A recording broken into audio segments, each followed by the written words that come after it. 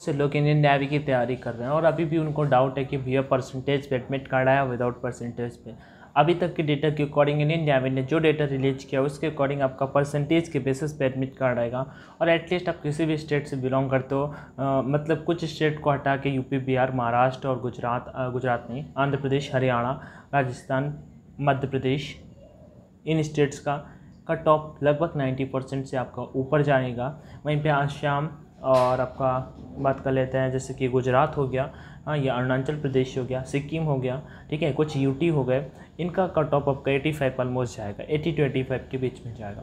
Indian navy M R का cut off थोड़ा सा ज़्यादा जाता है। वैसे मैंने आप सभी को ऑलरेडी बता रखा है कि किस स्टेट का कितना कट ऑफ़ गया है। अगर आप सर्च करना चाहो तो चैनल के नेम के साथ में वो चीज़ सर्च कर सकते हो। आपको डेफिनेटली इसी बार का, आपको प्रीवियस टाइम कितने, किस स्टेट का कितना कट ऑफ़ गया था, वो चीज़ देखने को मिल जाएगी। मॉरल एंड कॉमन सी चीज़ कैंडिडेट का डाउट ये आ रहा था। भैया, ये बता दो कि इंडियन नेवी का एग्ज़ाम कब होगा और एडमिट कार्ड कब तक आ जाएँगे। देखो, आपको मैं बता देता हूँ, चीज़ें कहाँ तक डन हो चुकी हैं, इधर तक डन हो चुकी हैं, ठीक है? और लगभग मैं बात कर लेता हूँ डबल ए और एसएसआर का मतलब एमआर और एसएसआर का इंडियन नेवी ने साथ में डेटा दिया है कि लगभग उन्होंने फॉर्म जो फिल करा लिए हैं नौ लाख, लगभग नौ लाख फॉर्म फिल हुए हैं और एम के ज़्यादा फॉर्म फिल हुए हैं कंपेरिजन देन एस के। ठीक है?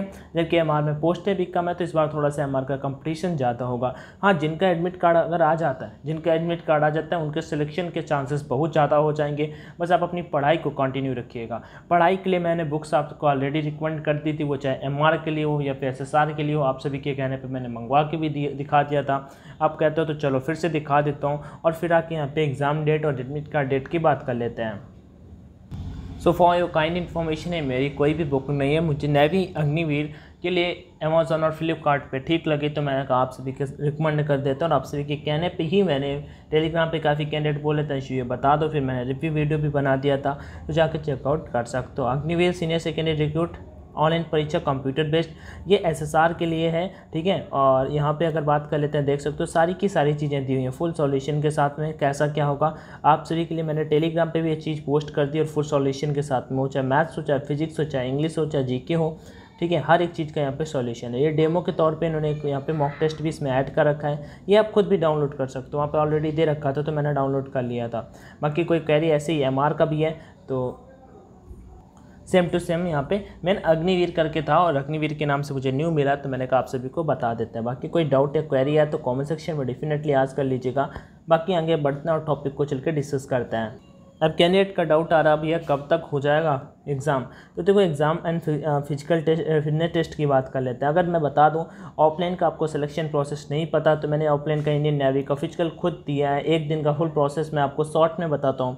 ठीक है? वैसे मैं कभी अच्छे से बता दूँगा, लेकिन आप देख रहे हैं, कोई भी अगर देख रहा है, अगर कोई मतलब मेल फीमेल कोई भी वीडियो देख रहा है तो मैम, मैं आपको, भाई, आपको बताता हूँ कि कैसे क्या होता है। मैंने जालंधर, पंजाब में दिया था। सुबह लगभग तीन सौ कैंडिडेट अपना तीस सेकेंड में मतलब देता हूँ। मैक्स वन मिनट ठीक है? सबसे पहले मेरा रिपोर्टिंग हुआ था। हम रात में एक मतलब उधर क्या बोलते हैं, गुरुद्वारे में ठहरे थे और भाई उधर के लोग बहुत अच्छे थे, ठीक है? खाना भी खाने को मिला लंगर टाइप में, दोनों टाइम बाकी थोड़ा सा मतलब उधर मदद भी करना होता, लेकिन बहुत अच्छा था। बाकी उधर से सुबह मॉर्निंग में पहुँचे जालंधर कैंट पे था, जालंधर पहुँचे और उधर जैसे रिपोर्टिंग हुआ, तीन सौ लगभग कैंडिडेट थे। वहाँ पे केवल यूपी और पंजाब यूपी और पंजाब के कैंडिडेट थे और लगभग तीन सौ कैंडिडेट तीन से इक्कीस बाईस कैंडिडेट थे।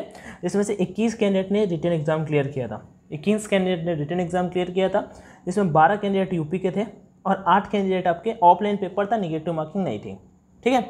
और मुझे मतलब पेपर देते ही पता चल गया था कि हो जाएगा मतलब पेपर इतना अच्छा हुआ था, ऑफलाइन निगेटिव मार्किंग नहीं थी, बस ये साइंस वाला सेक्शन ज़्यादा अच्छा नहीं हुआ था, बस लेकिन उसमें निगेटिव नहीं था तो दस स्कोर होता है कॉमन से खिलाना होता है तो मुझे ये लग रहा था दस तो आ ही जाएगा, कोई दिक्कत नहीं। और लास्ट रोल नंबर हाथ में लिख दिए जाते हैं ऐसे ऑफलाइन वाले में और उसी के बेसिस पे आपको रिज़ल्ट डिक्लेयर किया जाता है। सबसे लास्ट मेरा ही नाम बोला गया था। लगभग इक्कीसवें, बाईसवें नंबर पर मेरा ही नाम बोला गया था। ठीक है? तो एक लिस्ट होती है उसमें। बाकी सब बाहर हो गए थे। अब हम इक्कीस, बाईस लोग थे और उसमें से एक लड़का अमी में हो गया। उसका उसका वो भी बार हो गया था फ़िज़िकल में, उसका हो गया है। मैं उसी इंस्टाग्राम पे फॉलो करता हूँ, आप चाहे तो देख लीजिएगा गोपू करके नाम था उसका। तो उसका भाई चलो, फिर उधर से हम लोगों ने ये क्लियर किया, और मतलब पेपर क्लियर हुआ इक्कीस, जिसमें इक्कीस में लगभग बारह से तेरह लोग हम यूपी के थे, ठीक है? और सात आठ लोग पंजाब के थे। रनिंग किया। रनिंग में केवल एक लड़का बार हुआ। बहुत अच्छा ग्राउंड था, बहुत अच्छा ग्राउंड था। रनिंग के लिए मेरा रनिंग हमेशा कहाँ पे हुआ? रनिंग हमेशा आपका ग्राउंड में हुआ। तो ग्राउंड में मतलब इसका नेवी का, जबकि एयरफोर्स का हमेशा ग्राउंड में नहीं, कभी भी ग्राउंड में नहीं हुआ, हमेशा रोड में हुआ। मोस्टली हर एक सेंटर का एयरफोर्स का रनिंग आपका इसी में होता है। फिर जैसे रनिंग कंप्लीट हुआ, उसके बाद फ़िज़िकल में वही पुशअप्स कराए। वो क्लियर कर लिया, आराम से पुशअप्स वगैरह सब कुछ हो जाता है। फिर उसके बाद यहाँ पे आगे जब नेक्स्ट टास्क हमने किया तो नेक्स्ट टास्क अपना क्या था? फ़िज़िकल मतलब क्लियर करने के बाद मेडिकल एग्ज़ाम मेडिकल एग्ज़ाम में मुझे पता था कि आँखों में फंसना है। फिर फाइनली हम आँखों में जाके फंस गए। तीन चार लोग मेडिकल मिला, बाकी सब क्लियर हो गए। बहुत अच्छा पेपर हुआ था। मतलब फ़ोन करके भैया साथ में थे, लगा कि बता दिया घर पर कि हो जाएगा इस बार। और बस फिर आके आँखों से फंस गए और अपना बस फ्री मेडिकल देने फिर गए और वहीं जालंधर में मिलिट्री हॉस्पिटल फ्री मेडिकल मिला था और फिर आप फाइनल आउट हो गए।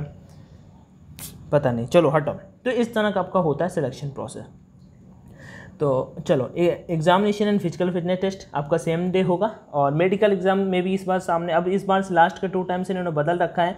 मेडिकल एग्ज़ाम ज्वाइनिंग टाइम ही कराता है। तो इस, ऐसा वाला होता तो मेरा मेरिट में तो नाम आ ही जाता। समझ रहे हो? लेकिन आपका फ़िज़िकल एंड एग्जामिनेशन उसी दिन हो जाएगा अगर आप क्लियर कर लेते हो और उसके बाद जब ये क्लियर हो जाएगा तो आपका सीधा ये देखो मेडिकल आपका सीधा चिल्का में होगा। मेडिकल आपका कहाँ पे होगा? चिल्का में होगा commencing on twenty first twenty first number मतलब मिड अक्टूबर में लगभग पंद्रह से बीस अक्टूबर आपका होगा। तब यहाँ पे आ जाते हैं एडमिट कार्ड तो एडमिट कार्ड आपका लगभग तीस, पच्चीस से तीस सेप्टेम्बर 25 से 30 सितंबर तक आपके एडमिट कार्ड आ जाएँगे। मीन्स एंड ऑफ़ सितंबर आपके एडमिट कार्ड आ जाएँगे। एंड ऑफ़ सितंबर मैक्स मतलब इससे ज़्यादा नहीं, इससे पहले आ सकते हैं।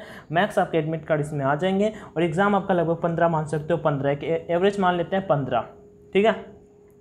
और एग्ज़ाम आपका इंडियन नेवी के सेंटर में ही होगा। इंडियन नेवी के सेंटर में ही होगा कमांड्स में ही होगा, यही।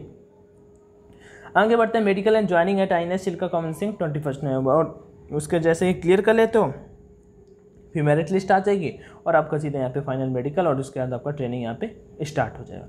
ये चीज़ें थी जो मुझे शेयर करनी थी आप सभी के साथ में। काफ़ी सारे डाउट्स क्लियर हुए होंगे। जो नहीं क्लियर हुआ हो या जो डाउट हो कमेंट सेक्शन में आज करिएगा। वीडियो को दोस्तों के साथ में शेयर कर सकते हो। चैनल पर फ़र्स्ट टाइम विज़िट करो तो सब्सक्राइब ज़रूर कर सकते हो।